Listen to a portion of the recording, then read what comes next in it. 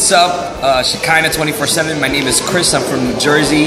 Just great things happening here in Toronto, and I just want to send a blessing to you. Met your pastor, he's an awesome guy. Just be radical for Jesus. Do what he's calling you to do. It's time for people to rise up and do different things. So, God bless you. Remember, be like Jesus. Go out there, go cast out demons, go lay hands on the sick, go be radical, go, go do crazy things. God bless you. Stay connected.